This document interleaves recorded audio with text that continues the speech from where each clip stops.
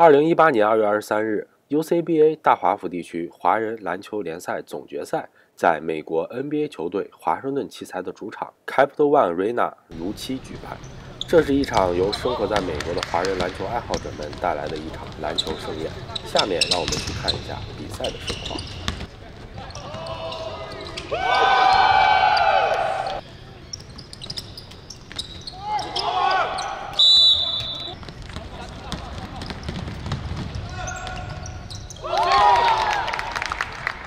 这场比赛的对阵双方由来自马里兰大学的华人篮球队和 Brick Squad 球队组成。最终，两队经过四节的激烈对抗，Brick Squad 以四十七比四十三的四分优势险胜马里兰大学篮球队。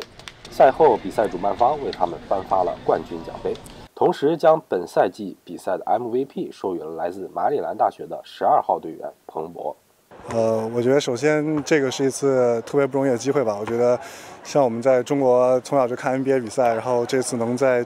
这样一个场馆条件这么好打球，我觉得首先心情特别激动，就总上都睡不着觉。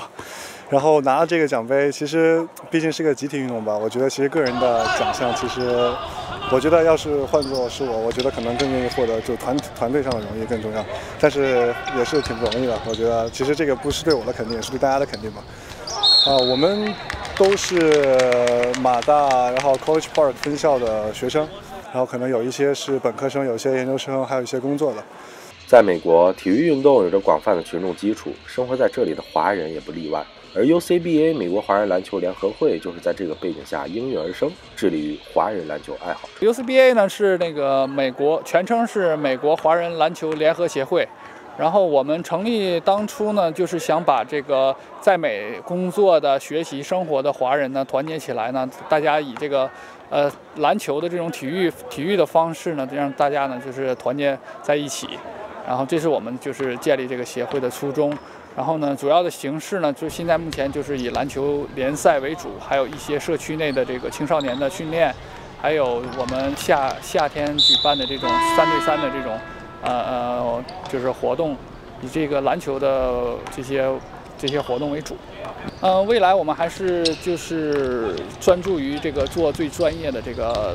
篮球联赛和体育这个平台，给给我们这个华人社区呢造呃创造更多的福利，然后呢将这个美国主流的这些篮球文化还有篮球比赛带到咱们华人的社区里边去，这是我们这个未来的这个发展发展方向。自从2002年中国巨人姚明进入 NBA 后，中国球迷高涨的热情让 NBA 火遍全中国。而随着美国华人篮球联合会的日益壮大，相信他们也会在美国这片热爱体育的土壤下绽放出更多的精彩。ACM 记者，美国首都华盛顿为您报道。